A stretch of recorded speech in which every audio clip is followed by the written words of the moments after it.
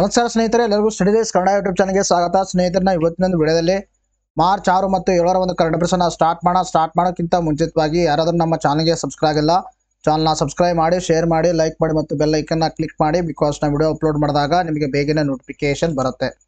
ಎಷ್ಟು ಒಳ್ಳೆ ಜೋಶೊಂದಿಗೆ ಇವತ್ತಿನ ಒಂದು ಕರೆಂಟ್ ಅಫೇರ್ಸ್ನ ಸ್ಟಾರ್ಟ್ ಮಾಡೋಣ ನೋಡಿ. ಮೊದಲೇ ಪ್ರಶ್ನೆ ಅಂತ ಕೇಳಿದರೆ ನೋಡಿ ಎ ಐ ತಂತ್ರಜ್ಞಾನ ಆಧಾರಿತ ಐರಿಸ್ ಎಂಬ ರೋಬೋಟ್ ಶಿಕ್ಷಕಿಯನ್ನ ಯಾವ ರಾಜ್ಯದಲ್ಲಿ ಪರಿಚಯಿಸಲಾಗಿದೆ ಅಂತ ಪ್ರಶ್ನೆಯನ್ನ ಕೇಳಿದ್ದಾರೆ. ಅದಕ್ಕೆ ಸರಿಯಾಗಿರ್ತಕ್ಕಂಥ ಉತ್ತರ ಯಾವುದಂದ್ರೆ ದಟ್ ಈಸ್ ಮೊದಲನೇ ಆಪ್ಷನ್ನು ಕೇರಳ ಇದಕ್ಕೆ ಸರಿಯಾಗಿರ್ತಕ್ಕಂಥ ಉತ್ತರವಾಗಿದೆ. ನೋಡ್ರಿ, ಬಹಳ ಇಂಪಾರ್ಟೆಂಟ್ ಆಗಿರ್ತಕ್ಕಂಥ ಪ್ರಶ್ನೆ. ನಿಮ್ಮ ಎಕ್ಸಾಮಲ್ಲಿ ಡೈರೆಕ್ಟ್ ಆಗಿ ಯಾವ ಥರ ಪ್ರಶ್ನೆನ ಕೇಳ್ಬೋದು ಅಂದ್ರೆ ಇದರ ಒಂದು ಅಪೋಸಿಟ್ ಪ್ರಶ್ನೆ ಕೇಳ್ಬೋದು. ಅಂದ್ರೆ ಅಪೋಸಿಟ್ ಸಿಮಿಲರ್ಲಿ ಬಟ್ ಏನಂದ್ರೆ, ಇತ್ತೀಚೆಗೆ ಸುದ್ದಿಯಲ್ಲಿದ್ದ ಐರಿಸ್ ಎಂಬುದು ಒಂದು ಅಂತ ಪ್ರಶ್ನೆ ಕೇಳ್ಬೋದು. ಅಥವಾ ಯಾವ ರಾಜ್ಯದಲ್ಲಿ ಪರಿಚಯಿಸಲಾಯಿತು ಅಂತ ಪ್ರಶ್ನೆನೂ ಕೂಡ ಕೇಳ್ಬೋದು. ಸೊ ಇದಕ್ಕೆ ಸರಿಯಾಗಿರ್ತಕ್ಕಂಥ ಉತ್ತರ ಯಾವುದಾಗತ್ತೆ? ಕೇರಳ ಅಂತ ಹೇಳ್ತೀವಿ. ಸೊ ಇಲ್ಲಿ ಎ ಐ ಅಂದರೆ ಆರ್ಟಿಫಿಷಿಯಲ್ ಇಂಟೆಲಿಜೆನ್ಸಿ ಅಂತ ಹೇಳ್ತೀವಿ ನಾವು. ಅರ್ಥಾಯ್ತಾ ಆರ್ಟಿಫಿಷಿಯಲ್ ಇಂಟೆಲಿಜೆನ್ಸಿ ಸೊ ಈ ಒಂದು ಆರ್ಟಿಫಿಷಿಯಲ್ ಇಂಟೆಲಿಜೆನ್ಸಿಯ ಪ್ರಮುಖ ಉದ್ದೇಶ ಏನಂದ್ರೆ ಈ ಮಷಿನ್ಸ್ಗಳನ್ನು ಅರ್ಥಾಯ್ತಾ ಮಷಿನ್ಸ್ಗಳನ್ನು ಮನುಷ್ಯನ ತರ ಆಕ್ಟ್ ಮಾಡಬೇಕು. ಅರ್ಥಾಯ್ತಾ ಮಷಿನ್ಸ್ಗಳು ಮನುಷ್ಯನ ಏನು ಕಾರ್ಯ ಮಾಡ್ತಿರ್ತಾನ? ಅವೆಲ್ಲವನ್ನ ಕಾರ್ಯ ಮಾಡುತ್ತಿದ್ರೆ ಅಂತ ಒಂದು ಟೆಕ್ನಾಲಜಿಯನ್ನು ನಾವು ಎ ಐ ತಂತ್ರಜ್ಞಾನ ಅಂತ ನಾವು ಹೇಳ್ತೀವಿ. ಪ್ರಸ್ತುತವಾಗಿ ಬಹಳ ಸುದ್ದಿಯಲ್ಲಿದೆ ಸೊ ನಿಮ್ ಕೆ ಎಸ್ ಎಕ್ಸಾಮಿನೇಷನ್ ಅಲ್ಲಿ ನಿಮಗೆ ಮೇನ್ಸ್ ಅಲ್ಲಿ ಪ್ರಶ್ನೆಯನ್ನ ಬರ್ಬೋದು. ಅರ್ಥ ಇದೆ ಗೊತ್ತಿರಲಿ? ಹೇಳಿದ್ರೆ ಎ ಐ ಬಗ್ಗೆ ಎ ಐ ಒಂದು ಸಾಧಕ ಬಗ್ಗೆ, ಬಾಧಕಗಳ ಬಗ್ಗೆ ರೀಸೆಂಟ್ ಬೆಳವಣಿಗೆಗಳ ಬಗ್ಗೆ ಗೊತ್ತಿರಬೇಕು ನಿಮಗೆ ಎಕ್ಸಾಮ್ ಅಲ್ಲಿ ಕೇಳಬಹುದು ಸೊ ಇದ್ರ ಮೇಲೆ ಪ್ರಶ್ನೆನ ಯಾಕೆ ಕೇಳಲಾಗಿತ್ತಂದ್ರೆ ನೋಡಿ, ದೇಶದ ಮೊದಲ ಎ ಐ ಶಿಕ್ಷಕಿ ಎಂಬ ಖ್ಯಾತಿಗೆ ಭಾಜನ. ರೋಬೋಟಿಕ್ಸ್ ಜನರೇಟಿವ್ ಎಐ ತಂತ್ರಜ್ಞಾನ ಬಳಸಿ ವಿನ್ಯಾಸ. ನೀತಿಯಾಗದ ಅಟಲ್ ಟಿಂಕರಿಂಗ್ ಲ್ಯಾಬ್ ಯೋಜನೆಯಡಿ ಅಭಿವೃದ್ಧಿ ಮಾಡಲಾಗಿದೆ ಅಂತಕ್ಕಂಥದ್ದು. ಸೊ ಇದರ ಕುರಿತು ಸಂಪೂರ್ಣವಾಗಿರ್ತಕ್ಕಂಥ ಮಾಹಿತಿಯನ್ನು ನಾವು ಡಿಸ್ಕಷನ್ ಮಾಡ್ತಾ ಹೋಗೋಣ ನೋಡಿ. ಶಿಕ್ಷಣ ಕ್ಷೇತ್ರದಲ್ಲಿ ಕ್ರಾಂತಿಕಾರ ಬದಲಾವಣೆಗೆ ಸಾಕ್ಷಿಯಾಗಲಿರುವ ಎಐ ತಂತ್ರಜ್ಞಾನ ಆಧರಿತ ಐರಿಸ್ ಎಂಬ ರೋಬೋಟ್ ಶಿಕ್ಷಕಿಯನ್ನ ಕೇರಳದ ಶಾಲೆಯೊಂದರಲ್ಲಿ ಪರಿಚಯಿಸಲಾಗಿದೆ. ಅಂದ್ರೆ ಯಾವ ಥರ ಮಾಮೂಲಿಯಾಗಿ ಏನು ಈ ಒಂದು ವುಮೆನ್ ಒಂದು ಶಿಕ್ಷಕಿ ಏನಿರ್ತಾರೆ ಶಿಕ್ಷಕರು ಏನಿರ್ತಾರೆ ಅಥವಾ ಶಿಕ್ಷಕಿ ಏನಿರ್ತಾರೆ ಸೇಮ್ ಅದೇ ಥರವನ್ನು ಕಾರ್ಯವನ್ನು ಮಾಡುವ ರೋಬೋಟ್ ಶಿಕ್ಷಕಿ ಅಂತಕ್ಕಂಥ ಒಂದು ಐರಿಸನ್ನು ಇತ್ತೀಚೆಗೆ ಅನಾವರಣಗೊಳಿಸಲಾಗಿದೆ. ದಟ್ ಇಸ್ ಎ ಐ ತಂತ್ರಜ್ಞಾನವನ್ನು ಬಳಸಿಕೊಂಡು ಇಂಟೆಲ್ ಪ್ರೊಸೆಸರ್ ಹೊಂದಿರುವ ದೇಶದ ಮೊದಲ ಎ ಐ ಶಿಕ್ಷಕಿ ಎಂಬ ಖ್ಯಾತಿಗೆ ಭಾಜನವಾಗಿದೆ. ಇಂಪಾರ್ಟೆಂಟು ನಿಮಗೆ ಕಂಪ್ಯೂಟರ್ ಒಂದು ಜ್ಞಾನದ ಅಡಿಯಲ್ಲಿ ಅಥವಾ ಕಂಪ್ಯೂಟರ್ ಎಕ್ಸಾಮಿನೇಷನ್ ನಿಮಗೆ ಗ್ರೂಪ್ ಸಿ ಎಕ್ಸಾಮಿನೇಷನ್ ಅಥವಾ ನೀವು V A O village accountant officer examination ಯಾರು ಅಪ್ಲೈಯನ್ನು ಮಾಡಿದಿರಿ ಅಥವಾ ಮಾಡ್ತಾ ಇದ್ದೀರಿ ಸೊ ಅಲ್ಲಿ ನಿಮಗೆ ಪೇಪರ್ ಟು ಅಡಿಯಲ್ಲಿ ಪೇಪರ್ ಟು ಕಮ್ಯುನಿಕೇಷನ್ ಇರುತ್ತೆ. ಸೊ ಕಮ್ಯುನಿಕೇಷನ್ ಅಡಿಯಲ್ಲಿ ಇದು ಇಂಪಾರ್ಟೆಂಟ್ ಆಗುತ್ತೆ. ಅರ್ಥ ಆಯ್ತಾ? ನಿಮಗಂದ್ರೆ ಇಲ್ಲಿ ಇನ್ನೊಂದು ಏನಂದ್ರೆ ನಿಮ್ಮ ಕೆ ಎಸ್ ಎಕ್ಸಾಮಿನೇಷನ್ ಯಾರು ಓದ್ತಾ ಇದ್ರಿ? ಅವರಿಗೆ ಸೈನ್ಸ್ ಆ್ಯಂಡ್ ಟೆಕ್ನಾಲಜಿ ಅಡಿಯಲ್ಲಿ. ಅರ್ಥ ಆಯ್ತಾ? ಸೈನ್ಸ್ ಆ್ಯಂಡ್ ಟೆಕ್ನಾಲಜಿ ಅಡಿಯಲ್ಲಿ. ದಿಸ್ ಈಸ್ ವೆರಿ ಇಂಪಾರ್ಟೆಂಟ್ ಅರ್ಥ ಆಯ್ತಾ? ಸೈನ್ಸ್ ಆ್ಯಂಡ್ ಟೆಕ್ನಾಲಜಿ ಅಡಿಯಲ್ಲಿ ನಿಮಗೆ ಪ್ರಶ್ನೆಯನ್ನ ಇದ್ರ ಮೇಲೆ ಕೇಳ್ಬೋದು. ನೀತಿ ಆಯೋಗದ ಒಂದು ಉಪಕ್ರಮ ಯಾವುದು? ಅಟಲ್ ಟಿಂಕರಿಂಗ್ ಲ್ಯಾಬ್ ಯೋಜನೆಯಡಿ makers lab educated private limited ಅಭಿವೃದ್ಧಿಪಡಿಸಿರುವ ಐರಿಸಿಯ ಶಿಕ್ಷಕಿಯನ್ನ ತಿರುವನಂತಪುರಂನಲ್ಲಿ ಶಾಲೆಯಲ್ಲಿ ಇದನ್ನು ಪರಿಚಯಿಸಲಾಗಿದೆ. ಸೊ ತಿರುವನಂತಪುರಂ ಎಲ್ಲಿದೆ ಕೇರಳದಲ್ಲಿದೆ. ಕೇರಳದ ರಾಜಧಾನಿ ತಿರುವನಂತಪುರಂ. ಅರ್ಥ ಐರಿಸ್ ಅಂತಕ್ಕಂಥದ್ದು ಒಂದು ರೋಬೋಟ್ ಶಿಕ್ಷಕಿ. ಇದನ್ನ ಯಾವ ಯೋಜನೆಯಡಿ? ನೀತಿ ಆಯೋಗದ ಒಂದು ಉಪಕ್ರಮ ಅಟಲ್ ಟಿಂಕರಿಂಗ್ ಲ್ಯಾಬ್ ಅಂತಕ್ಕಂಥ ಯೋಜನೆಯಡಿಯಲ್ಲಿ ಒಂದು makers lab educated private limited ಅಂತಕ್ಕಂಥ ಸಂಸ್ಥೆ ಏನು ಮಾಡಿದೆ, ಅಭಿವೃದ್ಧಿಪಡಿಸಿದ್ದಾರೆ. ವಿದ್ಯಾರ್ಥಿಗಳಿಗೆ ಕಲಿಕೆ ಅನುಭವವನ್ನು ಹೆಚ್ಚಿಸುವ ಉದ್ದೇಶವನ್ನಿಟ್ಟುಕೊಂಡು ಕಂಪನಿಯ ರೋಬೋಟಿಕ್ಸ್ ಮತ್ತು ಜನರೇಟಿವ್ ಎ ತಾಂತ್ರಿಕ, ತಾಂತ್ರಿಕತೆಯನ್ನು ಬಳಸಿಕೊಂಡು ಹುಮೆನಾಯ್ಡ್ ಮಾದರಿಯ ಒಂದು ಎ ಐ ರೋಬೋಟ್ ಅನ್ನ ರೋಬೋವನ್ನ ಇತ್ತೀಚೆಗೆ ಏನು ಮಾಡಿದೆ, ವಿನ್ಯಾಸವನ್ನಗೊಳಿಸಿದ್ದಾರೆ. ವಿನ್ಯಾಸಗೊಳಿಸಿದ್ದನ್ನ ಅನಾವರಣನೂ ಕೂಡ ಮಾಡಿದ್ದಾರೆ. ಎಲ್ಲಿ ಮಾಡಿದ್ದಾರೆ? ತಿರುವನಂತಪುರಂದಲ್ಲಿ ಅಂತಕ್ಕಂಥದ್ದು. ತಮ್ಮ ತಲೆಯಲ್ಲಿ ಅಚ್ಚಳವಾಗಿ ಉಳಿಬೇಕು. Very important for K S paper two science and technology ಅಡಿಯಲ್ಲಿ ಇಂಪಾರ್ಟೆಂಟು ಇನ್ನು ಮತ್ತಿತರ ಎಕ್ಸಾಮಿನೇಷನು ನಿಮಗೆ ಕಂಪ್ಯೂಟರ್ ಜ್ಞಾನ ಅಡಿಯಲ್ಲಿ ಇದು ಇಂಪಾರ್ಟೆಂಟ್ ಆಗುತ್ತೆ.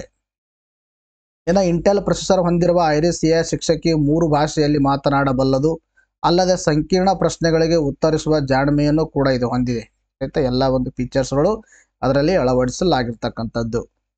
ನೋಡ್ರಿ ನೆಕ್ಸ್ಟ್ ಪ್ರಶ್ನೆನೂ ಕೂಡ ಇಂಪಾರ್ಟೆಂಟು ಅರ್ಥ ಆಯ್ತಾ? ನೆಕ್ಸ್ಟ್ ಪ್ರಶ್ನೆ ಬಹಳ ಇಂಪಾರ್ಟೆಂಟ್ ನೋಡಿ ಏನಂತ ಕೇಳಿದ್ರೆ women business and the law, and the law index. ಬಿಡುಗಡೆ ಮಾಡಿದ ಸಂಸ್ಥೆ ಯಾವುದು ಅಂತ ಪ್ರಶ್ನೆಯನ್ನು ಕೇಳಿದ್ದಾರೆ. ಅದಕ್ಕೆ ಸರಿಯಾಗಿರ್ತಕ್ಕಂಥ ಉತ್ತರ ಯಾವುದಂದ್ರೆ ದಟ್ ಇಸ್ ಎರಡನೇ ಆಪ್ಷನ್ ವಿಶ್ವ ಬ್ಯಾಂಕ್ ಇದಕ್ಕೆ ಸರಿಯಾಗಿರ್ತಕ್ಕಂಥ ಉತ್ತರ. ನೋಡ್ರಿ, ಮಹಿಳೆಯರ ರಿಲೇಟೆಡ್ ವುಮೆನ್ ಎಂಪವರ್ಮೆಂಟ್ ಅಂತಕ್ಕಂಥದ್ದು. ಅರ್ಥಾಯ್ತಾ ಹುಮೆನ್ ಎಂಪವರ್ಮೆಂಟ್ ಅಂತಕ್ಕಂಥದ್ದು ನಿಮ್ಮ ಒಂದು ಕೆ ಎಸ್ ಎಕ್ಸಾಮಿನೇಷನಲ್ಲಿ ಕೂಡ ಟಾಪಿಕ್ ಇದೆ. ಇನ್ನು ತದನಂತರದಲ್ಲಿ ಈ ಹುಮೆನ್ ಎಂಪವರ್ಮೆಂಟ್ ಮೇಲೆ ಇಬ್ಬರು ಸುಮಾರು ಬಾರಿ ಪ್ರಶ್ನೆಯನ್ನು ಕೇಳ್ತಿರ್ತಾರೆ. ಸೊ ಅದರಡಿಯಲ್ಲಿ ಇದು ಒಂದು ಇಂಪಾರ್ಟೆಂಟು ನೋಡಿ, ವಿಶ್ವ ಬ್ಯಾಂಕ್ ಗ್ರೂಪ್ ಅದಾಯ್ತಾ ನಾವು ವರ್ಲ್ಡ್ ಬ್ಯಾಂಕ್ ಗ್ರೂಪ್ ಅಂತ ಹೇಳ್ತೀವಿ. World bank group.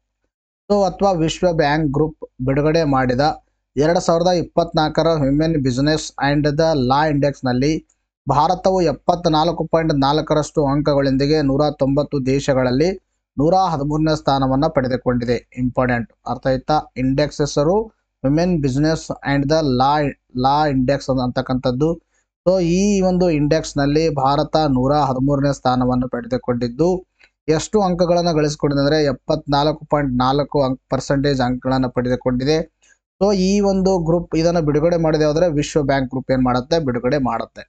ಪ್ರಸ್ತುತ ಬಿಡುಗಡೆ ಮಾಡಿದ್ದು ಇದು ಹತ್ತನೇ ಆವೃತ್ತಿಯಾಗಿದೆ. ಭಾರತದಲ್ಲಿ ಪುರುಷರಿಗೆ ನೀಡಲಾದ ಕಾನೂನು ಹಕ್ಕುಗಳಲ್ಲಿ ಶೇಕಡ ಅರವತ್ತರಷ್ಟು ಮಹಿಳೆಯರು ಅನುಭವಿಸುತ್ತಾರೆ ಎಂದು ಸೂಚ್ಯಂಕ ತೋರಿಸಿದೆ. ಇದು ಜಾಗತಿಕ ಸರಾಸರಿ ಅರವತ್ನಾಲ್ಕು ಪಾಯಿಂಟ್ ಎರಡಗಿಂತ ಕಡಿಮೆಯಾಗಿದೆ. ಅಂದರೆ ಇಲ್ಲಿ ಏನಂದರೆ ಒಟ್ಟಾರೆಯಾಗಿ ಇಲ್ಲಿ ಜೆಂಡರ್ ಇಕ್ವಾಲಿಟಿ ಅಂತಕ್ಕಂಥದ್ದು ಇಂಪಾರ್ಟೆಂಟ್ ಆಯ್ತಾ? ಒಟ್ಟಾರೆ ಒಂದು ಥೀಮ್ ಏನಂದರೆ ಜನ್ ಬೇರೆ ಬೇರೆ ದೇಶಗಳಲ್ಲಿ ಅಂದರೆ ಕಂಪೇರಿಂಗ್ ವಿತ್ ಅದರ್ ನೇಷನ್ಸ್ ಅದಾಯ್ತಾ ಆ ದೇಶಗಳ ಕಂಪೇರ್ ಮಾಡಿದಾಗ ಅಥವಾ ದೇಶಗಳನ್ನು ಒಂದು ಅಲ್ಲಿ ಶ್ರೇಣೀಕರಣ ಮಾಡ್ತಾ ಹೋದಾಗ ಈ ಒಂದು ಪುರುಷರಿಗೆ ನೀಡಲಾದ ಕಾನೂನುಗಳಲ್ಲಿ ಅಥವಾ ಕಾನೂನು ಹಕ್ಕುಗಳಲ್ಲಿ ಮಹಿಳೆಯರಿಗೆ ಎಷ್ಟು ಮಹಿಳೆಯರು ಎಷ್ಟು ಪರ್ಸೆಂಟೇಜ್ ಹಕ್ಕುಗಳನ್ನು ಎಂಜಾಯ್ ಮಾಡ್ತಾ ಇದ್ದಾರೆ? ಅಂತಕ್ಕಂಥದ್ದು. ಭಾರತದಲ್ಲಿ ಶೇಕಡ ಅರವತ್ತರಷ್ಟು, ಅರ್ಥ ಪುರುಷರಿಗೆ ನೀಡಿದ ಹಕ್ಕುಗಳಲ್ಲಿ ಅರವತ್ತರಷ್ಟು ಮಹಿಳೆಯರು ಏನು ಮಾಡ್ತಾ ಇದ್ದಾರೆ ಎಂಜಾಯ್ ಮಾಡ್ತಾ ಇದ್ದಾರೆ ಸೊ ಇದು ಗ್ಲೋಬಲ್ಗಿಂತಲೂ ಎಷ್ಟು? ಅರವತ್ನಾಲ್ಕು ಪಾಯಿಂಟ್ ಎರಡು ಪರ್ಸೆಂಟೇಜೆ ಅದಕ್ಕಿಂತಲೂ ಭಾರತದ್ದು ಕಡಿಮೆ ಇದೆ ಅಂತಕ್ಕಂಥದ್ದು ಗೊತ್ತಿರಬೇಕು ನಿಮಗೆ ಎಕ್ಸಾಮಲ್ಲಿ ಕೆ ಎಸ್ ಎಕ್ಸಾಮಿನೇಷನಲ್ಲಿ ನಿಮಗೆ ಏನು ಕೇಳ್ತಾರೆ ಅಂದರೆ ಸ್ಟೇಟ್ಮೆಂಟ್ ಬೇಸ್ಡ್ ಪ್ರಶ್ನೆಯನ್ನು ಕೇಳ್ತಾರೆ. ಸೊ ಅಂಥದ್ರಲ್ಲಿ ಏನಾಗುತ್ತಿದ್ದು ನಿಮಗೆ ಹೆಲ್ಪ್ ಆಗುತ್ತೆ. ಇನ್ನು ಇದು ವಾರ್ಷಿಕ ಅಧ್ಯಯನವಾಗಿದ್ದು ನೂರ ತೊಂಬತ್ತು ಆರ್ಥಿಕತೆಗಳಲ್ಲಿ ಮಹಿಳೆಯರು ಆರ್ಥಿಕ ಭಾಗವಹಿಸುವಿಕೆ ಅನುಕೂಲಕರ ವಾತಾವರಣ ನಿರ್ಣಯಿಸಲು ಇದು ಸಮರ್ಪಿಸಲಾಗಿದೆ. ಆಯ್ತಾ? ಎಸ್ ನೆಕ್ಸ್ಟ್ ನೋಡೋಣ ನೋಡಿ. ನೋಡಿ ನೆಕ್ಸ್ಟ್ ಏನಂದರೆ ವಿಶ್ವ ಬ್ಯಾಂಕ್ ಬಗ್ಗೆ ಡಿಸ್ಕಷನ್ ಮಾಡೋಣ. ಬ್ರಿಟನ್ ವುಡ್ಸ್ ಸಮ್ಮೇಳನದಲ್ಲಿ ಅಂತಾರಾಷ್ಟ್ರೀಯ ಹಣಕಾಸು ನಿಧಿಯೊಂದಿಗೆ ಸ್ಥಾಪಿಸಲಾಯಿತು. ಇಂಪಾರ್ಟೆಂಟ್ ಆಗಿರ್ತಕ್ಕಂಥ ಫ್ಯಾಕ್ಟು ಈಗಾಗಲೇ ಕೆ ಪಿ ಎಸ್ ಸಿ ಸುಮಾರು ಬಾರಿ ಕೇಳಿದ್ದಾರೆ ಆಯ್ತಾ? Bretton Woods Bretton Woods twins ಅಂತ ಹೇಳ್ತೀವಿ. ಬ್ರಿಟನ್ ವುಡ್ ಟ್ವಿನ್ಸ್ ಅಂದರೆ ಒಂದು ವರ್ಲ್ಡ್ ಬ್ಯಾಂಕು, ಇನ್ನೊಂದು ಐ ಎಂ ಎಫ್. ಆಯ್ತಾ? ಐ ಎಂ ಎಫ್ ಇವೆರಡು ಸಂಸ್ಥೆಗಳನ್ನು ಬ್ರಿಟನ್ ವುಡ್ ಸಮ್ಮೇಳನದ ನಂತರ ಸ್ಥಾಪನೆ ಮಾಡಲಾಯಿತು. ಸೊ, ಸಾವಿರದ ಒಂಬೈನೂರ ನಲವತ್ತ್ನಾಲ್ಕು ನಲವತ್ತೈದನೇ ಇಸ್ವಿಯಲ್ಲಿ ಇದನ್ನು ಸ್ಥಾಪನೆ ಮಾಡಲಾಯಿತು. ಇದರ ಒಂದು ಪ್ರಸ್ತುತ ಕೇಂದ್ರ ಕಚೇರಿ ಎಲ್ಲಿದೆ ಅಂದರೆ ವಾಷಿಂಗ್ಟನ್ ಡಿ ಸಿಯಲ್ಲಿದೆ ಪ್ರಸ್ತುತ ಇದಕ್ಕೆ ಅಧ್ಯಕ್ಷರಾದರೆ ಅಜಯ್ ಬಾಂಗಾ ಅವರು ಕಾರ್ಯವನ್ನು ನಿರ್ವಹಿಸುತ್ತಿದ್ದಾರೆ ಇಂಪಾರ್ಟೆಂಟು.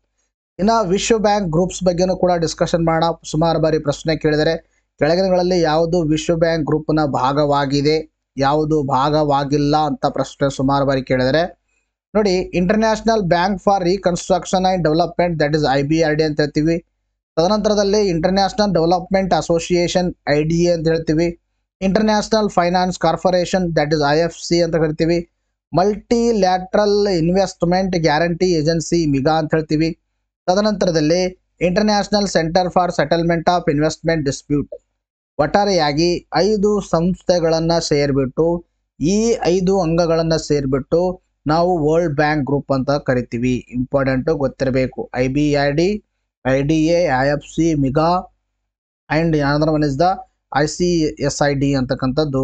ಇವು ನಾಲ್ಕು ವಿಶ್ವ ಬ್ಯಾಂಕಿನ ಒಂದು ಅಂಗಗಳಾಗಿವೆ. ಅಥವಾ ಇವುಗಳನ್ನು ನಾವು ವರ್ಲ್ಡ್ ಬ್ಯಾಂಕ್ ಗ್ರೂಪ್ ಅಂತ ನಾವು ಹೇಳ್ತೀವಿ. ನೋಡಿ, ಇದೇ ಥರನಾಗಿ ತಮಗೆ ಕ್ವಾಲಿಟೀಸ್ ಮತ್ತು ಕಂಟೆಂಟ್ ವಿಡಿಯೋಸ್ಗಳನ್ನು ಪ್ರೊವೈಡ್ ಮಾಡ್ತಾ ಇದ್ದೀವಿ ಯಾರು ನಮ್ಮ ನೋಟ್ಸ್ಗಳನ್ನು ನೀವು ತೆಗೆದುಕೊಂಡಿಲ್ಲ, ನಮ್ಮ ನೋಟ್ಸ್ಗಳನ್ನು ತಗೊಂಡು ಅಥವಾ ನಮ್ಮ ಮ್ಯಾಗ್ಝಿನನ್ನು ತೊಗೊಂಡು ನೀವೇನು ಮಾಡ್ಬೋದು, ರಿವೈಸ್ ಮಾಡ್ಬೋದು. ಸೊ ಇದಕ್ಕಿಂತಲೂ ಡೆಪ್ತ್ ಆಗಿರ್ತಕ್ಕಂಥ ಇನ್ಫಾರ್ಮೇಷನ್ ಅದರಲ್ಲಿ ಸಿಗುತ್ತೆ. ಫಿಫ್ಟೀನ್ ಡೇಸ್ಗೆ ಟ್ವೆಂಟಿ ಆಗುತ್ತೆ, ಒಂದು ಮಂತಿಗೆ ಫೋರ್ಟಿ ಆಗುತ್ತೆ, ಎರಡು ಸಾವಿರದ ಇಪ್ಪತ್ತ್ಮೂರು ಜಾನ್ ಟು ಜಾನ್, ಎರಡು ಸಾವಿರದ ಇಪ್ಪತ್ನಾಲ್ಕರವರೆಗೆ ಫೈವ್ ಟ್ವೆಂಟಿ ಆಗುತ್ತೆ. ಎರಡು ಸಾವಿರದ ಇಪ್ಪತ್ತೆರಡು ಜಾನ್ ಟು ಜಾನ್, ಎರಡು ಸಾವಿರದ ಇಪ್ಪತ್ನಾಲ್ಕರವರೆಗೆ ತೌಸಂಡ್ ಟ್ವೆಂಟಿ ಆಗುತ್ತೆ, ಡಿಸ್ಕೌಂಟ್ ಆಗಿ ನೈನ್ ಟ್ವೆಂಟಿಯಲ್ಲಿ ಸಿಗುತ್ತೆ. PhonePe Google Pay Paytm B P ಮುಖಾಂತರ ನಂಬರ್ಗೆ ಪೇ ಮಾಡೋದನ್ನು ವಾಟ್ಸಪ್ ಮುಖಾಂತರ ಪೇಮೆಂಟ್ ಮಾಡಿರ್ತಕ್ಕಂಥ ರಿಸಿಪ್ಟನ್ನು ಕಳಿಸಿದ್ರೆ ವಾಟ್ಸಪ್ ಅಥವಾ ಟೆಲಿಗ್ರಾಮು ನಮ್ಮ ನೋಟ್ಸ್ಗಳನ್ನು ತಮಗೆ ಸಾಫ್ಟ್ ಫಾರ್ಮ್ಯಾಟ್ ಅಥವಾ ಪಿ ಡಿ ಎಫ್ ಫಾರ್ಮ್ಯಾಟಲ್ಲಿ ನಾವು ಪಡೆದು ಕೊಡ್ತೀವಿ ತಮಗೆ.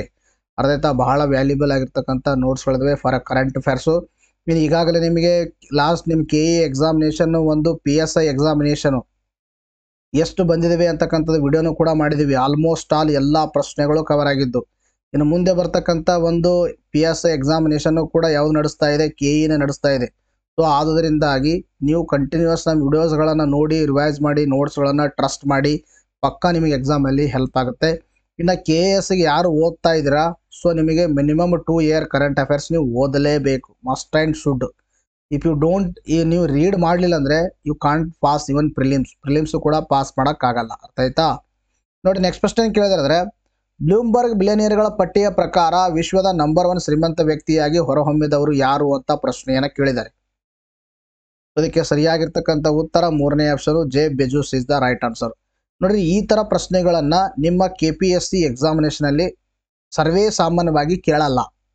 ಬಟ್ ಕೆ ಇ ಎ ಎಕ್ಸಾಮಿನೇಷನಲ್ಲಿ ಈ ಥರ ಪ್ರಶ್ನೆಗಳನ್ನು ಕೇಳ್ತಾರೆ. ಅರ್ಥ ಆಯ್ತಾ? ಗೊತ್ತಿರಲಿ ಫ್ಯಾಕ್ಚುವಲ್ ಇನ್ಫಾರ್ಮೇಷನನ್ನು ಜಾಸ್ತಿ ಕೆ ಇ ಎಕ್ಸಾಮಿನೇಷನಲ್ಲಿ ಕೇಳಿದ್ರೆ ಕಾನ್ಸೆಪ್ಚುವಲ್ ಇನ್ಫಾರ್ಮೇಷನನ್ನು ಕೆ ಪಿ ಎಸ್ ಸಿಯಲ್ಲಿ ಕೇಳಲಾಗುತ್ತೆ.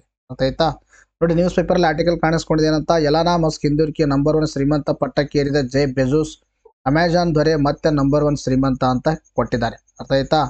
ನೋಡ್ರಿ, ನಿಮಗೆ ಕೆಲವೊಂದು ಬಾರಿ ಏನು ಮಾಡ್ತಾರೆ ಅಂದರೆ ಒಂದು ಕಡೆ ಏನು ಮಾಡ್ತಾರ? ಕಂಪ್ನಿಗಳ ಕೊಡ್ತಾರ, ಒಂದು ಕಡೆ ಓನರ್ಗಳು ಕೊಡ್ತಾರ, ಅಥವಾ ಒಂದು ಕಡೆ ಕಂಪ್ನಿಗಳು ಕೊಡ್ತಾರ, ಇನ್ನೊಂದು ಕಡೆ ಏನು ಮಾಡ್ತಾರ? ಸಿ ಇಒಗಳು ಕೊಡ್ತಾರ. So ಆದುದರಿಂದಾಗಿ be aware with this information Tesla ಸಂಸ್ಥಾಪಕ ಎಲಾನಾ ಮಸ್ಕ್ ಅವರನ್ನ ಹಿಂದಿಕ್ಕಿರೋ ಅಮೆಜಾನ್ನ ಸಂಸ್ಥಾಪಕ ಜೆ. ಬೆಜೋಸ್ ಮತ್ತೆ ವಿಶ್ವದ ನಂಬರ್ ಒನ್ ಶ್ರೀಮಂತ ವ್ಯಕ್ತಿಯಾಗಿ ಹೊರಹೊಮ್ಮಿದ್ದಾರೆ. ಆಯ್ತಾ? ನಮಗೆ ಗೊತ್ತಿರಬೇಕು ವಿಶ್ವದ ಶ್ರೀಮಂತ ವ್ಯಕ್ತಿ ಈಗ ಪ್ರಸ್ತುತವಾಗಿ ಯಾರಾದರೆ ಜೆ ಬೆಜುಸ್. ಜೆ ಬೆಜುಸ್ ಯಾವ ಒಂದು ಕಂಪನಿಯ ಸಂಸ್ಥಾಪಕರಾದ ಒಂದು ಸಂಸ್ಥಾಪಕರಾಗಿದ್ದಾರೆ? ಅಮೆಜಾನ್ ಕಂಪನಿಯ ಸಂಸ್ಥಾಪಕ. ಇನ್ನು ಟೆಸ್ಲಾ ಕಂಪನಿಯ ಸಂಸ್ಥಾಪಕ ಯಾರು? ಎಲಾನಾ ಮಸ್ಕ್. ಬ್ಲೂಮ್ಬರ್ಗ್ ಬಿಲಿಯನಿಯರ್ ಪಟ್ಟಿಯ ಪ್ರಕಾರ ಜೆ ಬೆಜೋಸ್ ಅವರು ಎರಡು ನೂರು ಬಿಲಿಯನ್ ಡಾಲರ್, ಸುಮಾರು ಹದಿನಾರು ಪಾಯಿಂಟ್ ಐವತ್ತೆಂಟು ಲಕ್ಷ ಕೋಟಿ ರು ಆಸ್ತಿ ಹೊಂದಿದ್ದು ಶ್ರೀಮಂತರ ಪಟ್ಟಿಯಲ್ಲಿ ಮೊದಲ ಸ್ಥಾನವನ್ನು ಹೊಂದಿದ್ದಾರೆ. ಇಮ್ಯಾಜಿನ್ ಮಾಡಿ, ಹದಿನಾರು ಪಾಯಿಂಟ್ ಐವತ್ತೆಂಟು ಲಕ್ಷ ಕೋಟಿ ರು ಒಂದೇ ಒಬ್ಬ ವ್ಯಕ್ತಿ ಹತ್ರ ಎಷ್ಟು ಆಸ್ತಿ ಹೊಂದಿರತಕ್ಕಂಥದ್ದು, ಅರ್ಥ ಆಯ್ತಾ? ಅದಕ್ಕೆ ಜಗತ್ತಿನ ಶ್ರೀಮಂತ ವ್ಯಕ್ತಿಯಾಗಿ ಹೊರಹೊಮ್ಮಿದ್ದಾರೆ ಎರಡನೇ ಸ್ಥಾನದಲ್ಲಿ ಎಲನಾ ಮಸ್ಕ್ ಅವರು ನೂರ ತೊಂಬತ್ತೆಂಟು billion dollar that is sixteen point forty one lakh crore ಮೌಲ್ಯದ ಆಸ್ತಿಯನ್ನು ಹೊಂದುವ ಮೂಲಕ ಎರಡನೇ ಸ್ಥಾನವನ್ನು ಹೊಂದಿದ್ದಾರೆ. ಇನ್ನು L V M H and CEO Bernard Arnault ನೂರ ತೊಂಬತ್ತೇಳು billion dollar, sixteen point thirty three lakh crore ಆಸ್ತಿಯೊಂದಿಗೆ ಶ್ರೀಮಂತ ಪಟ್ಟಿಯಲ್ಲಿ ಮೂರನೇ ಸ್ಥಾನ ಪಡೆದಿದ್ದಾರೆ. ಅರ್ಥ ನಿಮಗೇನು ಮಾಡ್ಬೋದು? ಒಂದು ಕಡೆ ಟೆಸ್ಲಾ ಕೊಡ್ಬೋದು ಇನ್ನೊಂದು ಏನು ಮಾಡ್ಬೋದು ನಿಮಗೆ? ಅಮೆಜಾನ್ ಕೊಡ್ಬೋದು, ಇನ್ನೊಂದು ಎಲ್ ವಿ ಎಂ ಎಚ್ ಅಂತಕ್ಕಂಥ ಕಂಪನಿ ಕೊಡ್ಬೋದು.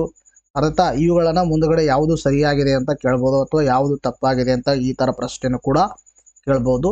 ಬಿ ಅವೇರ್ ನೋಡಿ ನೆಕ್ಸ್ಟ್ ಪ್ರಶ್ನೆ ಕೇಳಿದ್ರೆ ಅತಿ ಹೆಚ್ಚು ರಕ್ಷಣಾ ಖರ್ಚು ಮಾಡುವ ದೇಶ ಯಾವುದು ಅಂತ ಪ್ರಶ್ನೆಯನ್ನ ಕೇಳಿದ್ದಾರೆ ಅದಕ್ಕೆ ಸರಿಯಾಗಿರ್ತಕ್ಕಂಥ ಉತ್ತರ ಯಾವುದಂದ್ರೆ, ಅಮೆರಿಕ ಇದಕ್ಕೆ ಸರಿಯಾಗಿರ್ತಕ್ಕಂಥ ಉತ್ತರವಾಗಿದೆ. ನೋಡಿ, ಚೀನಾ ತನ್ನ ರಕ್ಷಣಾ ಬಜೆಟ್ ಅನ್ನು ಶೇಕಡ ಏಳು ಪಾಯಿಂಟ್ ಎರಡರಷ್ಟು ಹೆಚ್ಚಿಸಿ ಎರಡು ನೂರ ಮೂವತ್ತೆಂಟು ಶತಕೋಟಿ ಡಾಲರ್ಗೆ ಹೆಚ್ಚಿಸಿದೆ. ಅಮೆರಿಕ ನಂತರ ರಕ್ಷಣಾ ಬಜೆಟ್ಗೆ ಹೆಚ್ಚು ಹಣ ತೆಗೆದಿದ್ದ ವಿಶ್ವದ ಎರಡನೇ ದೇಶ ಚೀನಾ ಆಗಿದೆ. ಒಂದು ರಕ್ಷಣೆಗೆ ಅರ್ಥಾತ್ ಡಿಫೆನ್ಸ್ಗೋಸ್ಕರ ಎಕ್ಸ್ಪೆಂಡಿಚರ್ ಮಾಡುವ ಜಗತ್ತಿನ ಮೊದಲ ದೇಶ ಯಾವುದಂದ್ರೆ ದಟ್ ಇಸ್ ಅಮೇರಿಕಾ. ಇನ್ನು ಅತಿ ಹೆಚ್ಚು ಡಿಫೆನ್ಸ್ಗೋಸ್ಕರ ಎಕ್ಸ್ಪೆಂಡಿಚರ್ ಮಾಡುವ ಜಗತ್ತಿನ ಎರಡನೇ ದೇಶ ಯಾವುದಂದ್ರೆ ದ್ಯಾಟ್ಸ್ ಇಸ್ ಚೀನಾ ಅಂತ ಹೇಳ್ತೀವಿ. ರಕ್ಷಣಾ ವೆಚ್ಚಕ್ಕಾಗಿ one point sixty seven trillion yuan ಸುಮಾರು ಎರಡು ನೂರ ಮೂವತ್ತೆಂಟು ಶತಕೋಟಿ ಡಾಲರ್ಗಳನ್ನು ವೆಚ್ಚ ಮಾಡ್ತಾ ಇದೆ. ಯಾವುದು? ಚೀನಾ. ಕಳೆದ ವರ್ಷ ಅಮೆರಿಕ ರಕ್ಷಣಾ ಬಜೆಟ್ ಎಂಟುನೂರ ಎಂಬತ್ತಾರು ಶತಕೋಟಿ ಡಾಲರ್ ಆಗಿತ್ತು. ಈ ವರ್ಷ ಭಾರತ ರಕ್ಷಣಾ ಬಜೆಟ್ ಆರು ಲಕ್ಷದ ಇಪ್ಪತ್ತೊಂದು ಸಾವಿರದ ಐದುನೂರ ನಲವತ್ತೊಂದು ಕೋಟಿ ರು. ಸುಮಾರು ಎಪ್ಪತ್ನಾಲ್ಕು ಪಾಯಿಂಟ್ ಎತ್ತು ಶತಕೋಟಿ ಡಾಲರ್ ಇದೆ. ಅರ್ಥಾತ್ ನೋಡಿ ನಮ್ಮದಲ್ಲಿ ಅವ್ರದಲ್ಲಿ? ಸೆವೆಂಟಿ ಫೋರ್ ನಾವು ಇದೀವಿ.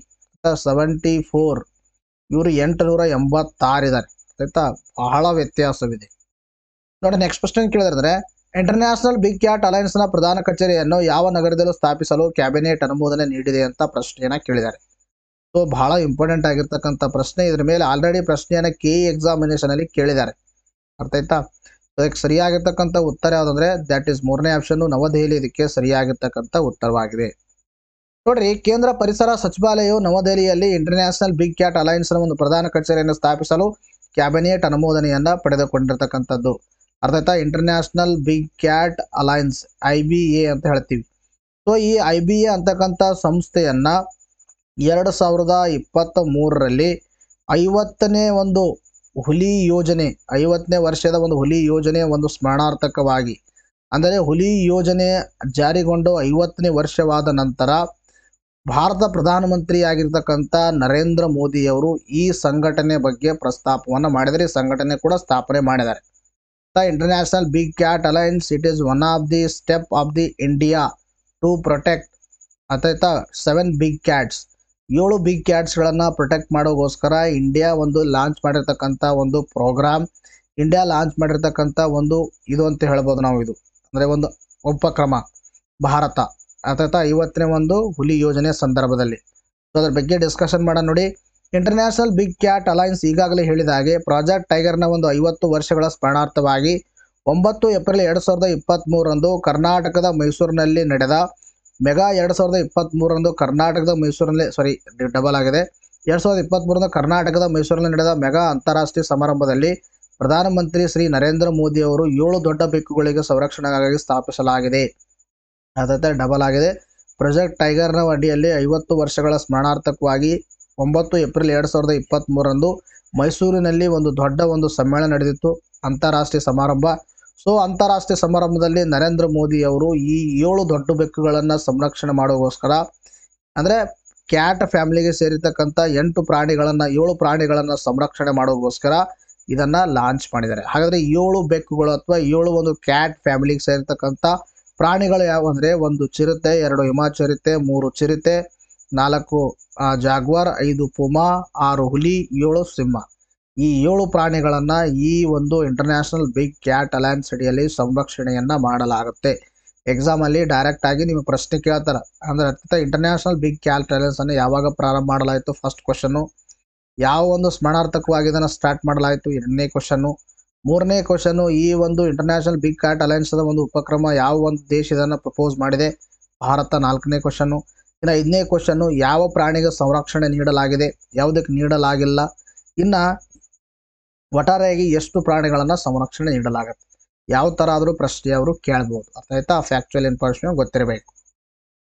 ನೋಡ್ರಿ, ಯಾರು ಮೆಂಬರ್ಶಿಪ್ ಅನ್ನು ತೆಗೆದುಕೊಂಡಿಲ್ಲ ಕ್ಲಿಕ್ ಆನ್ ಜಾಯಿನ್ ಬಟನ್ ಕೆಳಗಡೆ ನಮ್ಮ ಯೂಟ್ಯೂಬಲ್ಲಿ ಜಾಯಿನ್ ಬಟನ್ ಅನ್ನು ಕ್ಲಿಕ್ ಮಾಡೋ ಮುಖಾಂತರ ಲೆವೆಲ್ ಅನ್ನು ಚೂಸ್ ಮಾಡೋ ಮುಖಾಂತರ three ninety nine two ninety nine subscription ತಗೊಂಡು ನೀವು ಎಕ್ಸ್ಕ್ಲೂಸಿವ್ ಕ್ಲಾಸ್ಗಳನ್ನು ಅಲ್ಲಿ ಎಂಜಾಯ್ ಮಾಡ್ಬೋದು. ಸಂಗಮ್ ಡಿಜಿಟಲ್ ಟ್ವಿನ್ ಉಪಕ್ರಮ ಪ್ರಾರಂಭಿಸಿದ ಇಲಾಖೆ ಯಾವುದು ಅಂತ ಪ್ರಶ್ನೆಯನ್ನು ಕೇಳಿದ್ದಾರೆ. ಸರಿಯಾಗಿರ್ತಕ್ಕಂಥ ಉತ್ತರ, ಮೊದಲನೇ ಆಪ್ಷನ್ ದೂರ ಸಂಪರ್ಕ ಇಲಾಖೆ. ನೋಡಿ, ದೂರ ಸಂಪರ್ಕ ಇಲಾಖೆಯು ಮೂಲ ಸೌಕರ್ಯ ಯೋಜನೆ ಮತ್ತು ನಿರ್ವಹಣೆಯಲ್ಲಿ ಕ್ರಾಂತಿಕಾರಿ ಬದಲಾವಣೆಗೆ ಸಂಗಮ್ ಡಿಜಿಟಲ್ ಟ್ವಿನ್ ಉಪಕ್ರಮವನ್ನು ಪ್ರಾರಂಭಿಸಿದೆ. ಗೊತ್ತಿರಬೇಕು, ಸಿಂಪಲ್ ಆಗಿ. ಐ ಐ ಟಿ ದೆಹಲಿಯಲ್ಲಿ bridging the gap between the innovations and planning ಎಂಬ ವಿಷಯದಡಿಯಲ್ಲಿ ಮೊದಲ ಒಂದು ಔಟ್ರೀಚ್ ಕಾರ್ಯಕ್ರಮವನ್ನು ನಡೆಸಲಾಯಿತು. ಅಂತ ಸಿಂಪಲ್ ಆಗಿ ಗೊತ್ತಿರಲಿ, ಸಂಗಮ್ ಡಿಜಿಟಲ್ ಟ್ವಿನ್ ಉಪಕ್ರಮವನ್ನು ದೂರ ಸಂಪರ್ಕ ಇಲಾಖೆ ಏನು ಮಾಡಿದೆ, ಪ್ರಾರಂಭ ಮಾಡಿದೆ. ಇದು ಡಿಜಿಟಲ್ ಮೂಲ ಸೌಕರ್ಯ ಏನು ಮಾಡುತ್ತೆ, ಇಂಪ್ರೂವ್ಮೆಂಟ್ ಮಾಡುತ್ತೆ. ಉಪಕ್ರಮ ಮೂಲ ಸೌಕರ್ಯಗಳ ಪರಿಕಲ್ಪನೆ ಮತ್ತು ನಿರ್ವಹಣೆಯಲ್ಲಿ ಒಂದು ಮಾದರಿಯ ಬದಲಾವಣೆಯನ್ನು ಕಂಡು, ಕಂಡುಬರುತ್ತದೆ. ಇದು ಹೆಚ್ಚು ಸ್ಥಿತಿಸ್ಥಾಪಕ ನಗರಗಳಿಗೆ ದಾರಿ ಮಾಡಿಕೊಡುತ್ತದೆ. ಅರ್ಥೈತೆ? ಈಗಾಗಲೇ ನಿಮಗೆ ಹೇಳಿದ್ದೀನಿ. ನೋಡಿ ನೆಕ್ಸ್ಟ್ ಕ್ವಶನ್ ಕೇಳಿದ್ರೆ ಇಂಡಿಯನ್ ಇನ್ಸ್ಟಿಟ್ಯೂಟ್ ಆಫ್ ಹಾರ್ಟಿಕಲ್ಚರ್ ರಿಸರ್ಚ್ನ ಕೇಂದ್ರ ಕಚೇರಿ ಎಲ್ಲಿದೆ ಅಂತ ಪ್ರಶ್ನೆಯನ್ನು ಕೇಳಿದ್ದಾರೆ. ಅದಕ್ಕೆ ಸರಿಯಾಗಿರ್ತಕ್ಕಂಥ ಉತ್ತರ, ಎರಡನೇ option Bengaluru is the right answer ಇದು ಇಂಪಾರ್ಟೆಂಟ್ ಆಗಿರ್ತಕ್ಕಂಥ ಪ್ರಶ್ನೆ ಇದು. ಅರ್ಥ ಆಯ್ತಾ ನಿಮ್ಮ ಕರ್ನಾಟಕ ಕರೆಂಟ್ ಅಫೇರ್ಸ್ ಅಡಿಯಲ್ಲಿ ಕೂಡ ಇದೇನಾಗುತ್ತೆ? ಇಂಪಾರ್ಟೆಂಟ್ ಆಗುತ್ತೆ. Indian institute of horticulture research March ಐದರಿಂದ ಏಳರವರೆಗೆ ಬೆಂಗಳೂರಿನಲ್ಲಿ ಹೊರವಲಯದಲ್ಲಿ ತನ್ನ ಹೆಸರಘಟ್ಟ ಆವರಣದಲ್ಲಿ ರಾಷ್ಟ್ರೀಯ ತೋಟಗಾರಿಕಾ ಮೇಳವನ್ನು ಆಯೋಜಿಸಿತು ಅರ್ಥ, ಪ್ರಶ್ನೆ ಕೇಳ್ತಾರೆ, ಇತ್ತೀಚೆಗೆ ರಾಷ್ಟ್ರೀಯ ತೋಟಗಾರಿಕಾ ಮೇಳವನ್ನು ಎಲ್ಲಿ ಆಯೋಜನೆ ಮಾಡಲಾಯಿತು ಅಂತಕ್ಕಂಥದ್ದು. ಬೆಂಗಳೂರಿನಲ್ಲಿ, ಮೋರ್ ಪರ್ಟಿಕ್ಯುಲರ್ಲಿ ಹೆಸರುಘಟ್ಟಿನಲ್ಲಿ ಇನ್ನು ಈ ಮೇಳದ ವಿಷಯ ಏನಾಗುತ್ತೆ ಅಂದರೆ next gen technology led horticulture for sustainable development simple ಆಗಿ next generation technology led horticulture for sustainable development ಅಂತಕ್ಕಂಥದ್ದು ಈ ಮೇಳದ ಒಂದು ಉದ್ದೇಶವಾಗಿತ್ತು. ಅಂದರೆ ಥೀಮ್ ಆಗಿತ್ತು. ಮೇಳದಲ್ಲಿ ತೋಟಗಾರಿಕೆ ಕ್ಷೇತ್ರದಲ್ಲಿ ದೇಶದ ಅತ್ಯಾಧುನಿಕ ಮತ್ತು ಹೆಚ್ಚಿನ ತಂತ್ರಗಳನ್ನು ಪ್ರದರ್ಶನ ಮಾಡಲಾಯಿತು ಅದರಲ್ಲಿ ರೈತರ ಆದಾಯವನ್ನು ಹೆಚ್ಚಿಸುವುದು ಮತ್ತು ಉತ್ತಮ ಗುಣಮಟ್ಟದ ತೋಟಗಾರಿಕೆ ಸರಕುಗಳ ಉತ್ಪಾದನೆಯನ್ನು ಖಚಿತಪಡಿಸಿಕೊಳ್ಳುವುದು ಈ ಮೇಳದ ಗುರುತು, ಗುರಿವಾಗಿದೆ. ಅಫ್ಕೋರ್ಸ್ ಹಾರ್ಟಿಕಲ್ಚರ್ ಬಗ್ಗೆ ಇದು ಅಂದರೆ ಹಾರ್ಟಿಕಲ್ಚರ್ ಮಾಡ್ತಕ್ಕಂಥವ್ರು ಯಾರು? ರೈತರು. ರೈತರ ಆದಾಯನ ಏನು ಮಾಡಬೇಕಾಗುತ್ತೆ? ಹೆಚ್ಚಿಗೆ ಮಾಡಬೇಕು, ಮಾಡಲೇಬೇಕಾಗುತ್ತೆ. Indian institute of horticulture research ಅಂತಕ್ಕಂಥದ್ದು. ಇದೊಂದು ಸ್ವಾಯತ್ತ ಸಂಸ್ಥೆಯಾಗಿದೆ. ರೈತ ಸಾವಿರದ ಒಂಬೈನೂರ ಅರವತ್ತೇಳರಲ್ಲಿ ಸ್ಥಾಪನೆಯಾಗಿದೆ. ಇದರ ಕೇಂದ್ರ ಕಚೇರಿ ಬೆಂಗಳೂರಲ್ಲಿದೆ. ಇದು ಪೇಪರ್ ಟು ಅಡಿಯಲ್ಲಿ ಕರ್ನಾಟಕ ಕರೆಂಟ್ ಅಫೇರ್ಸ್ ಅಡಿಯಲ್ಲಿ ಇಂಪಾರ್ಟೆಂಟ್ ಆಗುತ್ತೆ. ಗೊತ್ತಿರಬೇಕು. ನವದೆಹಲಿಯಲ್ಲಿ ಇಂಡಿಯನ್ ಕೌನ್ಸಿಲ್ ಆಫ್ ಅಗ್ರಿಕಲ್ಚರ್ ರಿಸರ್ಚ್ನ ಒಂದು ಅಂಗ ಸಂಸ್ಥೆಯಾಗಿದೆ ಅರ್ಥಾತ್ ನವದೆಹಲಿಯಲ್ಲಿ Indian council of agriculture research. Agriculture research ಎಲ್ಲಿದೆ ಅಂತ ಪ್ರಶ್ನೆ ಕೇಳ್ತಾರೆ. ಒಂದು ಕಡೆ ಏನು ಮಾಡಿದರೆ ಸಂಸ್ಥೆಗಳನ್ನು ಕೊಟ್ಟಿದ್ದಾರೆ. ಒಂದು ಕಡೆ ಹೊಂದಿಸಿ ಬರದಲ್ಲಿ ಸುಮಾರು ಬಾರಿ ಕೇಳಿದರೆ ಕೆ ಪಿ ಎಸ್ ಸಿಯಲ್ಲಿ ಗೊತ್ತಿರಬೇಕು. Indian council of agriculture research ಎಲ್ಲಿದೆ ನವದೆಹಲಿಯಲ್ಲಿ. ಆಮೇಲೆ Indian institute of horticulture research ಎಲ್ಲಿದೆ ಅದು ಬೆಂಗಳೂರಿನಲ್ಲಿ. ಇನ್ನು ಯಾವ ಸಚಿವಾಲಯದಲ್ಲಿ ಕೃಷಿ ಸಚಿವಾಲಯದ ಅಡಿಯಲ್ಲಿ ಇದು ಕಾರ್ಯನಿರ್ವಹಿಸುತ್ತೆ. ನೋಡಿ ನೆಕ್ಸ್ಟ್ ಪ್ರಶ್ನೆ ಕೇಳಿದ್ರೆ ಅಂದ್ರೆ, ತನ್ನ ಸಂವಿಧಾನದಲ್ಲಿ ಗರ್ಭಪಾತದ ಹಕ್ಕನ್ನು ಸೇರಿಸಿದ ಮೊದಲ ದೇಶ ಯಾವುದು ಅಂತ ಪ್ರಶ್ನೆಯನ್ನ ಕೇಳಿದ್ದಾರೆ. ಅದಕ್ಕೆ ಸರಿಯಾಗಿರ್ತಕ್ಕಂಥ ಉತ್ತರ, France is the right answer ಇದು ಬಹಳ ಇಂಪಾರ್ಟೆಂಟ್ ಆಗಿರ್ತಕ್ಕಂಥದ್ದು. ನಿಮ್ಮ ಒಂದು ಕೆ ಇ ಎಕ್ಸಾಮಿನೇಷನ್ ಅಲ್ಲಿ ಡೈರೆಕ್ಟ್ ಇದೇ ತರ ಪ್ರಶ್ನೆ ಬರ್ಬೋದು ನೋಡಿ. ಐ ಥಿಂಕ್ ಇದೇ ತರ ಬರುತ್ತೆ ಕೇಳ್ತಾರೆ ಎಕ್ಸಾಮಲ್ಲಿ ಇದ್ರ ಬಗ್ಗೆ ಡಿಸ್ಕಷನ್ ಮಾಡೋಣ ನೋಡಿ. ಫ್ರಾನ್ಸ್ ತನ್ನ ಸಂವಿಧಾನದಲ್ಲಿ ಗರ್ಭಪಾತದ ಹಕ್ಕನ್ನು ಅಳವಡಿಸಿದ ಮೊದಲ ರಾಷ್ಟ್ರ ಎಂಬ ಹೆಗ್ಗಳಿಕೆಗೆ ಏನು ಮಾಡಿದೆ? ಪಾತ್ರವಾಗಿರ್ತಕ್ಕಂಥದ್ದು. ಇದು ಕಾನೂನಿನ ಚೌಕಟ್ಟಿನೊಳಗೆ ಗರ್ಭಪಾತವನ್ನು ಆಯ್ಕೆ ಮಾಡುವ ಮಹಿಳೆಯರ ಸ್ವತಂತ್ರವನ್ನ ಖಾತರಿಪಡಿಸುತ್ತದೆ. ಅದರ್ಥ ಅದು ಮಹಿಳೆಯರಿಗೆ ಒಂದು ಸ್ವತಂತ್ರದ ಹಕ್ಕನ್ನು ನೀಡ, ನೀಡುತ್ತೆ. ಫ್ರೆಂಚ್ ಶಾಸಕಾಂಗ ಸಂಸತ್ತಿನ ಜಂಟಿ ಅಧಿವೇಶನದಲ್ಲಿ ಸಂವಿಧಾನದ ಮೂವತ್ನಾಲ್ಕನೇ ವಿಧೇಯಕ ತಿದ್ದುಪಡಿ ತರುವ ಮೂಲಕ ವಿಧೇಯಕವನ್ನು ಅಂಗೀಕರಿಸಲಾಗಿದೆ. ಈ ಮೂವತ್ನಾಲ್ಕನೇ ತಿದ್ದು ವಿಧೇಯಕನ ಅವಶ್ಯಕತೆ ನಮಗಿಲ್ಲ. ಬಟ್ ನಮ್ಗೆ ಗೊತ್ತಿರಬೇಕು ಸಂವಿಧಾನದಲ್ಲಿ ಗರ್ಭಪಾತದ ಹಕ್ಕನ್ನು ಅಳವಡಿಸಿದ ಜಗತ್ತಿನ ಮೊದಲ ದೇಶ ಯಾವುದಂದ್ರೆ ದಟ್ ಈಸ್ ಫ್ರಾನ್ಸ್ ಅಂತಕ್ಕಂಥದ್ದು. ವಿಧೇಯಕ ಪರ ಸದನದಲ್ಲಿ ಶೇಕಡ ಎಂಬತ್ತೈದರಷ್ಟು ಬೆಂಬಲ ವ್ಯಕ್ತವಾಗಿತ್ತು. ವಿಧೇಯಕ ಪರ ಏಳ್ನೂರ ಎಂಬತ್ತು ಮತಗಳು ಬಂದಿದ್ದು, ವಿಧೇಯಕ ವಿರುದ್ಧ ಎಪ್ಪತ್ತೆರಡು ಮತಗಳು ಬಂದಿದ್ದು ಬಟ್ ಎನಿ ಹಾವ್ ಬಿಲ್ ಮಸೂದೆ ಪಾಸ್ ಆಗಿದೆ ಬಿಲ್ ಆಗಿ ಹೊರ ಬಂದಿರತಕ್ಕಂಥದ್ದು ನೋಡಿ ನೆಕ್ಸ್ಟ್ ವಲಯಿಸಿದ ಮೊದಲನೇ ಪ್ರಶ್ನೆ. ಇತ್ತೀಚೆಗೆ ಬಿಡುಗಡೆ ಮಾಡಲಾದ ಚರಿತ್ರೆ ವರದಿ ಪ್ರಕಾರ ಎರಡ್ ಸಾವಿರದ ಹದಿನೆಂಟರಿಂದ ಎರಡು ಸಾವಿರದ ಇಪ್ಪತ್ತೆರಡರಲ್ಲಿ ಚಿರತೆಗಳ ಸಂಖ್ಯೆಯಲ್ಲಿ ಎಷ್ಟು ಏರಿಕೆ ಅಂದರೆ ದಟ್ ಇಸ್ ಏಟ್ ಪರ್ಸೆಂಟೇಜ್ ನಾಲ್ಕನೇ ಮಾರ್ಚ್ ಎರಡು ಸಾವಿರದ ಇಪ್ಪತ್ನಾ ನಾಲ್ಕರಂದು ಭಾರತದ ರಾಷ್ಟ್ರೀಯ ಸುರಕ್ಷಾ ದಿನ ಎಷ್ಟನೇದಾಗಿದೆ ಅಂದರೆ ಐವತ್ತ್ ಮೂರನೇದು ಯಾವ ತಂಡವು ಇತ್ತೀಚೆಗೆ ಮಾರ್ಚ್ ಇಪ್ಪತ್ನಾಲ್ಕರಲ್ಲಿ ಪ್ರೊ ಕಬಡ್ಡಿ ಲೀಗ್ ಇಸ್ನ ಹತ್ತನೇ ಹತ್ತನೇ ಆವೃತ್ತಿಯನ್ನು ಗೆದ್ದಿದೆ ಅಂದರೆ ಪುಣೇರಿ ಪಲ್ಟನ್. ಡೇಟ್ ಇದಾಗಿದೆ ಸ್ವಲ್ಪ. ಇದು ಗೆದ್ದಿರ್ತಕ್ಕಂಥದ್ದು. ಇತ್ತೀಚೆಗೆ ಲೋಕಪಾಲ ಸದಸ್ಯರಾಗಿ ಯಾರು ನೇಮಗೊಂಡಿದ್ದಾರೆ? ಖಾನ್ವಿಲ್ಕರ್. ಇತ್ತೀಚೆಗೆ ಸ್ಟೇನ್ಲೆಸ್ ಸ್ಟೀಲ್ ವಲಯದಲ್ಲಿ ಭಾರತ ಮೊದಲ ಹಸಿರು ಹೈಡ್ರೋಜನ್ ಸ್ಥಾವರವನ್ನು ಯಾವ ರಾಜ್ಯದಲ್ಲಿ ಉದ್ಘಾಟಿಸಲಾಗಿದೆ ಅಂತ ಪ್ರಶ್ನೆ ಕೇಳಿದರೆ ಇದಕ್ಕೆ ಸರಿಯಾಗಿರ್ತಕ್ಕಂಥ ಉತ್ತರ ಹರಿಯಾಣ. ಇತ್ತೀಚೆಗೆ ತನ್ನ ಸಂವಿಧಾನದಲ್ಲಿ ಗರ್ಭಪಾತದ ಹಕ್ಕನ್ನು ಸೇರಿಸಿದ ಮೊದಲ ದೇಶ ಯಾವುದಂದ್ರೆ ಈಗಾಗಲೇ ಹೇಳಿದ್ರೆ ದಟ್ ಇಸ್ ಫ್ರಾನ್ಸ್ ಇತ್ತೀಚೆಗೆ ನಿವೃತ್ತಿಗೋಷ್ಠಿದ ಬಿ. ಸಾಯಿ ಪ್ರಣೀತ್ ಅವರು ಯಾವ ಕ್ರೀಡೆಯೊಂದಿಗೆ ಸಂಬಂಧ ಹೊಂದಿದ್ದಾರೆ ಅಂತ ಪ್ರಶ್ನೆಯನ್ನು ಕೇಳಿದರೆ ಅದಕ್ಕೆ ಇದಕ್ಕೆ ಸರಿಯಾಗಿರ್ತಕ್ಕಂಥ ಉತ್ತರ ಬ್ಯಾಡ್ಮಿಂಟನ್. ಇತ್ತೀಚೆಗೆ ಯಾವ ಸಂಸ್ಥೆಯು ಅಖಿಲ ಭಾರತ ಸಂಶೋಧನಾ ವಿದ್ವಾಂಸರ ಶೃಂಗಸಭೆ ಎರಡು ಸಾವಿರದ ಇಪ್ಪತ್ನಾಲ್ಕನ್ನ ಆಯೋಜಿಸಿತು ಅಂತ ಪ್ರಶ್ನೆ ಕೇಳಿದ್ರೆ ಇದಕ್ಕೆ ಸರಿಯಾಗಿರ್ತಕ್ಕಂಥ ಉತ್ತರ ಐ ಐ ಟಿ ಮದ್ರಾಸ್. ಬಿಹಾರದ ಹೊಸ ಹೊಸ ಮುಖ್ಯ ಕಾರ್ಯದರ್ಶಿಯಾಗಿ ಯಾರು ನೇಮಗೊಂಡಿದ್ದಾರೆ? ನಾಟ್ ರಿಕ್ವೈರ್ಡ್ ಬ್ರಜೇಶ್ ಮಹತ್. ಸುಮ್ ಸಿಂಪಲ್ ಆಗಿ ಗೊತ್ತಿರಲಿ, ಇದು ರಿಕ್ವೈರ್ಡ್ ಇಲ್ಲ. ಎಸ್, ಇವತ್ತಿಗೆ ವಿಡಿಯೋನ ಮುಗಿಸೋಣ. ಮತ್ತೆ ಮುಂದಿನ ವಿಡಿಯೋದಲ್ಲಿ ಭೇಟಿಯಾಗೋಣ. Thank you friends take care bye